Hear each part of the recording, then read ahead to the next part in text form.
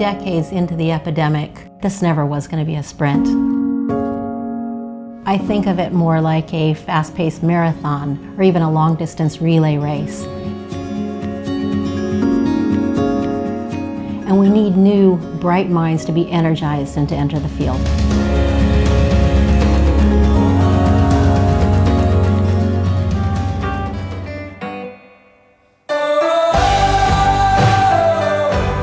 For the Ragon Summer Internship in South Africa, we chose Harvard freshmen and sophomores who had minimal or even no lab experience.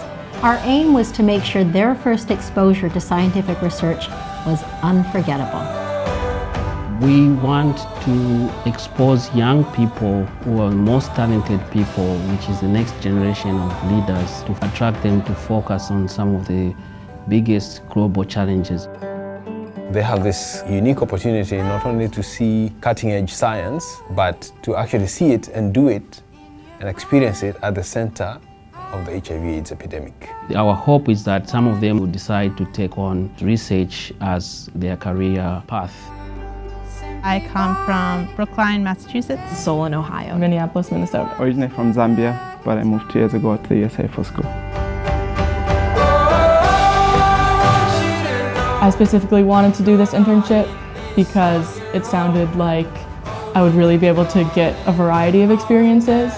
Over the course of the summer, the students see and experience the epidemic instead of reading about it. We're right in the middle of the HIV AIDS epidemic. If I was in Boston, I'd be sitting in a classroom learning about HIV in a much more like, abstract and academic way. We're working with members of the communities who are affected. The students were given an option to choose what kind of setting and type of research they were most interested in. Four of the students chose to work in the laboratory, where they hope to learn basic research techniques and assays. They're paired with local junior investigators and supervised by Ragon faculty based here in South Africa. It's been truly amazing being able to work with the PhD students and my mentors. I've learned how to do immunohistochemistry. We've had questions on this type of science in some of my classes, but now I know how to do it. Just really opened my eyes to immunology as a whole and how complex but also how beautiful it is. I've been working with CD8 T cells, investigating how different subsets of these cells can affect the virus differently and kill at different rates. I want to do research later with my life, and so I just live and breathe for this kind of work. The PhD student that I'm working with is very knowledgeable. It has been awesome to just have somebody in that capacity. I think what the Ragon Institute is doing is very exceptional. They are not only just helping the undergrads, but it's also good for us as PhD students. It's helping me to better my mentorship and supervision skills. To me, the greatest benefit is the collaboration that is strengthened through these kind of arrangements. The two students based at the Fresh Clinical site have been tasked with designing an assessment to figure out why the young women enrolled in the study are opting not to take PrEP. PrEP is a pill that can prevent them from becoming HIV infected, and it's free. Instead of just working with the data, I got to also talk to the participants and go on field trips with them and work on a bigger project on PrEP and do a qualitative study on that, which was really cool. It has made me excited. They helped me a lot and we got a lot done. So I'm really excited about this program. Definitely the most interesting part of my experience here was working with the traditional healers.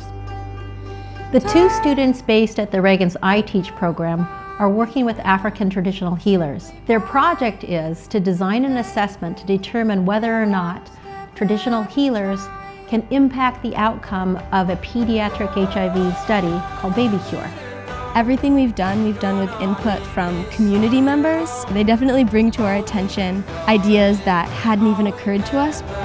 The project which was given to them, it was a difficult project, but they contributed a lot of skills, especially for my traditional healer project.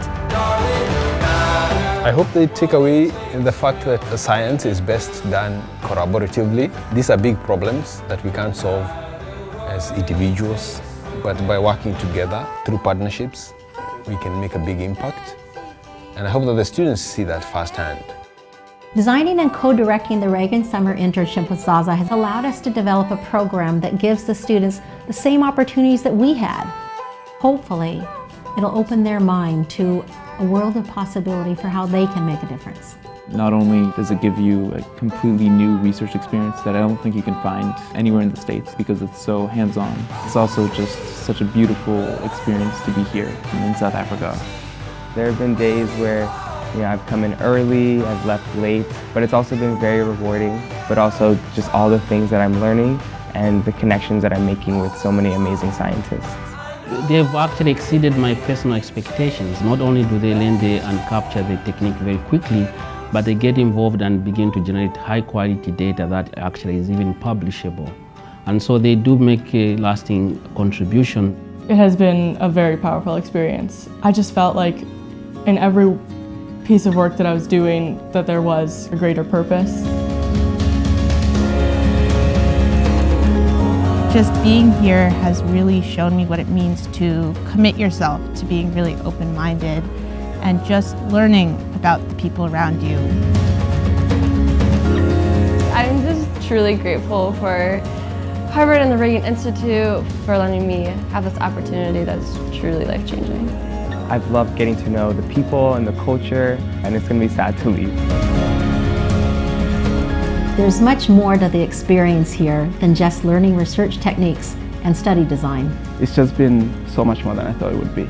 Both the Harvard students and the South African students will be the next leaders of this world. And if we make a strong foundation, we're going to leave this world in a better hand.